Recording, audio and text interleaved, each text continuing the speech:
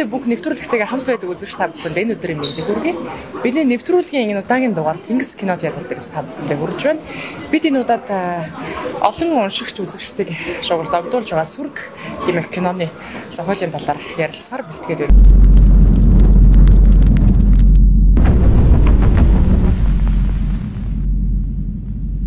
ингээд ирсэн зочтой та бүхэнд ярилцуулъя. Сүрэг киноны ерөнхий найруулагчаар Базар Базар аргач та өдрийн мэндийг хүргэе. Баярлаа. За мөн продюсер, зохиолчор Тодко Самсон зохиолч хөрөлцөрсөн өдрийн мэнд. Баярлалаа. Үзэгчтэй өдрийн мэнд. За тэгэхээр юуны түрүүнд дугууруулаа сүрэг Арманыхын талаар, дотор агуулгын талаар мөн үзэгчд хэрхэн хүлээн авч байгаа талаар ярилцж тийм үү? За найруулагчаас эхэллээ. За за энэ хүү сүрэг ном маань бол мэдээж уншигчдын гар дээр очиод бол баггүй бас цаг хугацааг илээсэн олон уншигчтай болсон ном л доо. Тэгээд энээсээ бид нэг бүлгийг аваад сүрэг кинон дээрээ одоо дулам гэдэг өсвөн амьдралыг ерөөхдөө энэ дээрээс төвөрлөж авч энэ тэр кино зохиол болгож ерөөхдөө хийж гүйцэтгээд одоо 4 сарын 8-наас хойш нээгээд өнөөдрийг хүртэл бас үзэгчд манаас баггүй сайхан үнэлээд биднээс тэрэнд нь баярлаад одоо ингээд өнөөдөр чи мянган номтой аа мянган үзэгчийн баяр хийгээд энэ ч ингээд ирчихсэн байж байна. Тэнгис кино театр дээр. Тэгэхээр зохиолч продюсерийн хувьд яг энэ арманда та үзэгчдэд яг юуг ойлгож байгаас юу мэдээсэ гэж хүсэж бичсэн байна. Сумаар санагдаж байна. За. Юун төрөнд бол сүрэг роман маань миний чамд хий гэх юм бэ гэдэг а гарчтай 5 цуврал романы сүүлчийн дэвтэр юм аа. Тэгэхээр өмнөх дөрвөн дэвтэртэйгээ бол үйл явдлын хувьд цаг хугацааны хувьд зөрчлийн хувьд тий сэдвийн хувьд холбогдоод тэгээд өмнөх дөрвөн дэвтрээ төгсгөлөг сүүлчийн дэвтэр нь өмнө вангийн нулимс харь хэлээрээр гисэд дээд айл миний харт миний хормын гिचгээр дөрвөн роман байгаа. Энэ ингээд тавтах нь. Тэгээд энэ ер нь бүхэл цулаараа энэ таван роман маань зохиолын хувьд бичиглэлийн хувьд таван өөр төрлөөр бичигдсэн нэг үйл явдал гол дөрүүдтэй боловч өөр өөр одоо бичиглийн төрлөөр бичигдсэн шинжил фаны баримтат, түүхэн баримтат, сэтгэхүйн трейлер, хайр сэтгэлийн романс. Аа тэгээд өнгөрсөн энэ таваар роман маань өнгөрсөн одоо ирээдүй ойрын ирээдүй хүртэл одоо зөвгнөөд гэдэг нь вангийн үлэмс гэдэг бол одоо коронавиг зөвгнөж бичсэн ном гэдэг нэлээд их хэл ам гардаг тий. Тэгээд одоо сүрэг бол бид нэр одоо 100 жилч болоогүй байгаа тэр үнэн түүхийг ил гарах дотроо гаргаснараа гурван дотроо үндсэн юутай хэсэгтэй. Тэгээд 1930 оноос эхэлсэн хилмигдүүлэлтийн цаг үеийг бусад зохиолынхаа дөрүүдтэй сюжет болгож холбоод а мөн одоо одоо цаг за ирээдүйн цагийг бас зөвнөж энэ зохиол дээр бичсэн. А хамгийн гол уншигчдыг үзэгчдийг хүлээж аваасаа олж уншаасаа олж үзээсэй гэж бодож байгаа үзэл санаа маань бол мэдэх. Өнгөрсөнд юу болсныг мэдэх ирээдүйд юу болох гээд байгааг мэдэх, одоо юу болоод байгааг мэдэх, танин мэдэх энийг л үзэгч, уншигч бол номноос ч бай, киноноос ч бай авч явэл одоо манай ерхий найруулагч миний хоёрын одоо эцсийн зорилго биелж байна л гэсэн. Тэгэхээр маш олон уншигч үзэгчдэд сэтгэл үлдээсэн байсан. Үнэхээр их уйллаа, үнэхээр сэтгэл өвдлөө гэж тийм. Тэгэхээр тэр нууцаас загцхаас нь үзэж амжаагүй, уншиж амжаагүй уншигчдаа бас сонирхол ээ. Тийм ээ. Яагаад ч юм тэгж сэтгэл өвдсөн. Бодлоосон зүйлүүд байна вэ? Тий. Яагаад вэ гэх юм бол одоо мэдээж энэ кино зохиолд бол хамгийн гол суурь одоо фундам нь бол мэдээж зохиолын үг сонирхол те тэр хоорондын бүлгийн хоорондын зөрчил дөрвийн шугам энэ бүхэн маань үнэхээр энэ номон дээр одоо сүүлийн үед одоо биднэр ч хилдэггүй олон хүн хэмжигдэхүүнээр одоо сэтгэл маш өндөр байгаа учраас бид нар бас баггүй сайн зохиол дээрээс ажилласан.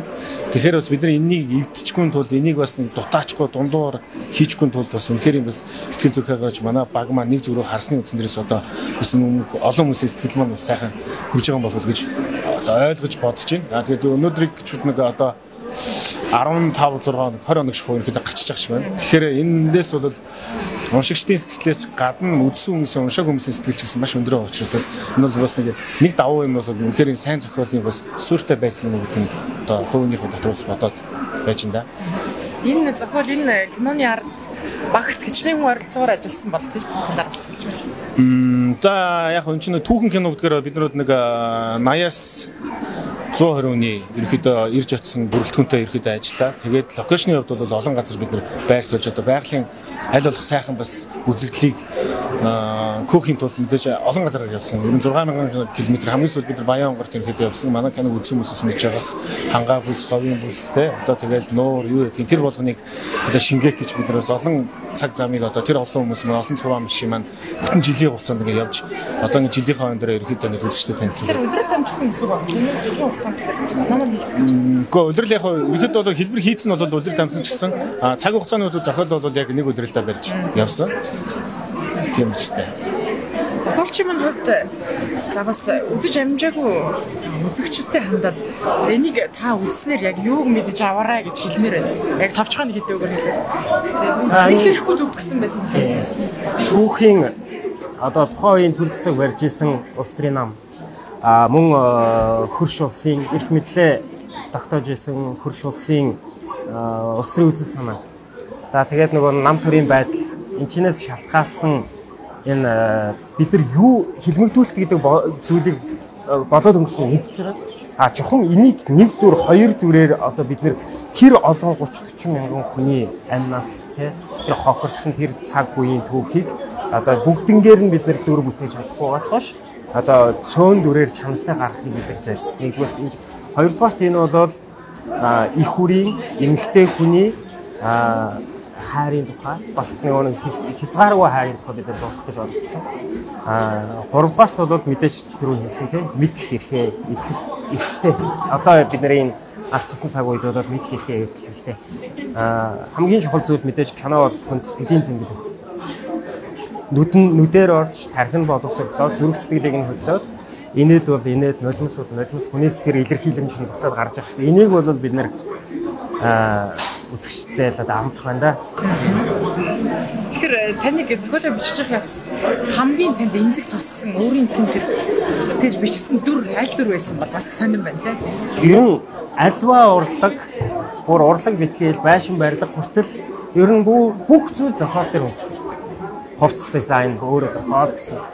Барилга байшин өөрөө архитектор юм дизайн нэтрээр зохиол гэсэн. Тэгэхээр энэний ерөөсөө тэр нь сайн энэ нь муу гэсэн юм байна. Ерөөсөө бүхэл цогц байж ээж те фундамент зөв тавигдаад тэр тоосго бүр нь дөрөв бүр дээр нь ажиллаж ээж энэ одоо сүрэг гэдэг энэ байшин урчхааргүй бат бөх ийм одоо зохиол болохын төлөө би хичээсэн учраас зүгээр нэг дурддагдаад өнгөрч байгаа дүр хүртэл зүгээр нэг санаандгүй нэг цаас дүүрэх гэсэн сэтлэр биш те энэ л үйл явдал байж ээж энэ л экшн байж ээж энэ л нулимс байж ээж энэ одоо цаасан дээр бол утга учир бий болно гэдгийг зорьсон учраас тэгээд би өөрөө зохиолоо бичихтэй бол тэр чигтээ ингээд тэр зохиол гэдэг юмны ертөнц рүү явж явдаг. Тусдаа одоо бичгийн гэр гэдэг газар өөрийгөө төгжээд хэдэн сараар ч хамаагүй те тэгэж энэ одоо энэ рил буюу энэ бодит амьдралаас одоо гэр бүл, найз нөхөд, босод одоо бизнес, хоолунд юу гэдэг тэр бүхнээс өөрийгөө тасалж ийж энэ одоо сүрэг гэдэг ертөнцийг нэгдүгээр тархин дотроо хоёрдугаарт одоо юу гэдгийг энэ ертөнцид энэ ертөнцийг би цааслаа гэж буулгаж бичдэг. Өөрөө тэнцээ очиж үзэж хардаг гэсэн. Тэгээ сод энийг бол ерөөхдөө судалгаа гэж хэлж байгаа. Тийм болохоор миний хувьд уншигчийн хувьд бол чухал юм чухал. А миний хувьд бол миний ном номондоо бичсэн үг болгон дөрөв болгон чухал. Баярлалаа тань. Тэгэхээр энэ дотор гарч байгаа үйл явдал дөрүүд бол яг тухайн цаг үед байсан бодит явдал болж шахах гэдэг тийм үү? Бодит явдалж байгаа зөвнөлж байгаа. Энэ бол 1930-аад оны түүхээс арчлалын суурийг хэрхэн тавигдсан бэ гэдэг түүх рүү ороод арчлалын дараа монголчууд яасан бэ гэдэг одоо байгаа нөхцөл байдал маань ирээдүйд хаана хүргэж болох вэ гэдэг тэр магадлал руу хүргэж байгаа. Ерөөсө зохиолын хувьд бол цаг хугацааны одоо хэмжээ хязгааргүй. Вангийн нөлөөс бол бүр грек ромын түүхийг дотор шингээсэн юм. Тэгэхээр энэ зохиол төр хэдэн хэрэг хугацаа зарцуулж та ажилласан бол? Сүрэг романы судалгааг 2 жил хийсэн. 2 жил. Тийм. Вангийн нулимс романы судалгааг 2 жил 8 сар хийсэн. Ер нь зохиол хамгийн их шаардлагатай юм бол судалгаа. Эхлээд тархин дотроо бич. Тархин дотроо бичээд бүх дөрүүдээ харчаад, бүх үйл явдлаа харчаад одоо энийг би нөгөө миний багш хэлсэн үг байдаг л та. Онгод гэдэг бол хансан бодол бичих хүсэл хоёр уулзсан юм байна. Тэгээд энэ сүрэг гэдэг юм маань нэг үгээр судлагдаад уншаад энэ дээр ямар дүр байх вэ яах вэ гэдгийг бүгднгийн тархин дотроо нэрээд дуусгасны дараа одоо гэсэн.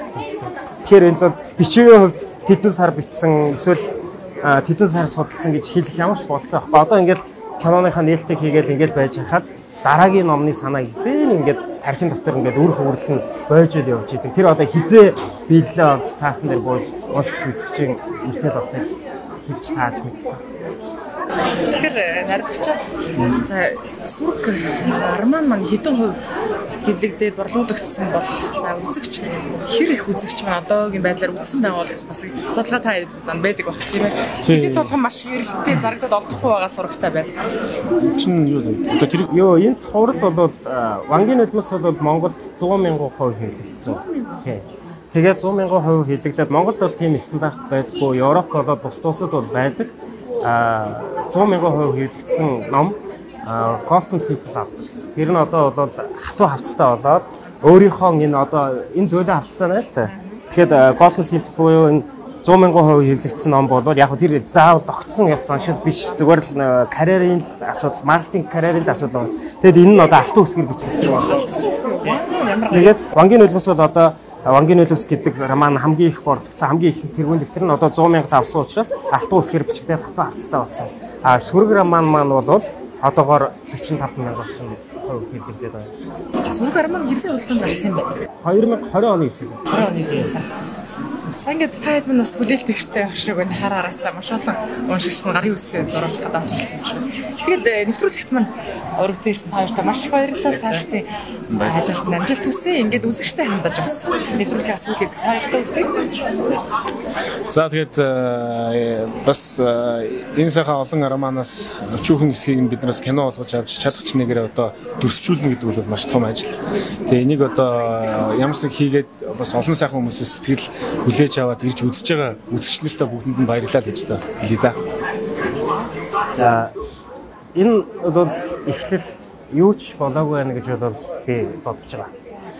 Ямар ч хэсэн эхний кино а таван цуврал роман тавуулга кино энийг зорж байгаа. Цаашид ч өөрч зохиолуудаар кино хийх нь а тэгээд энэ бол дөнгөж эхлэл эхлэл алдаатай оноотой тий хүн болгон хөлд орохдоо шууд гүгээд эхэлдэг бүдэрч уган юм тгшин тий Тэгэхээр өнөөдөр би арт түмнээ төгсөж байгаа. Арт түм маань намайг төгсөж хөлд оруулж байгаа. Тэдрэгс маань кино урлагийн салбар гэдэг энэ найруулагч маань, бусад жүжигчид маань аа тэгээд энэ хамтран зүтгэж байгаа энэ хамгийн сүүлийн титр кино дуусаад урсдаг тэр нөгөө хүмүүсийн уншдаггүй тэр нэрсүүд бол одоо намайг төгсөж байгаа хөлд оруулж байгаа аа уран бүтээлчд маань хамгийн чухал хүмүүс бол тэд нар тэгээд дээрэс нь энийг үзэж урам хайраа өгдөг.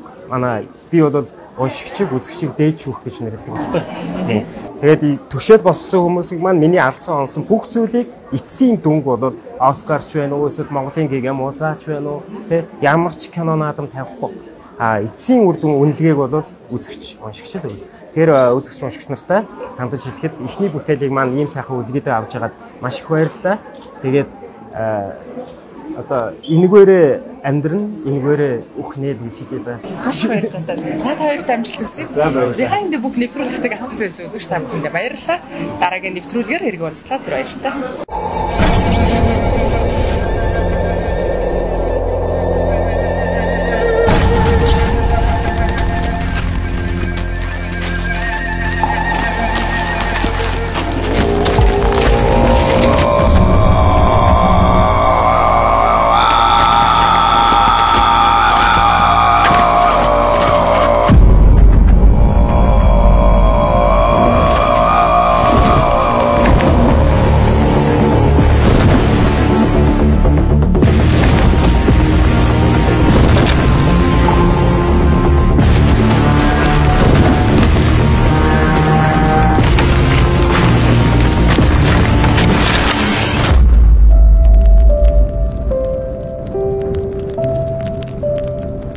Их тунх хэрэг зам мөрийг нь түшиж харъя. Ногоон дэрхийн ариун лава. Энэ лавыг салахаар яваад одоо хүртэл сурахгүй байна. Лаваг аваа зүгтжээ тохнолгож. Явш гэж. тас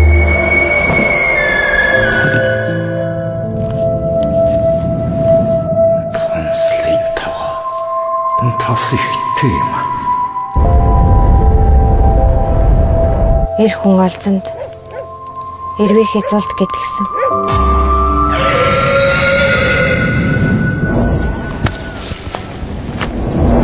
Хүн бид нар одоо хэм мэдээгүй юу юм уу? Танантай чинь хэрэг баа. Тэрэг чи би яаж хийж байгаа өөрийн биеэр олдох вэ? Анаа дангарах.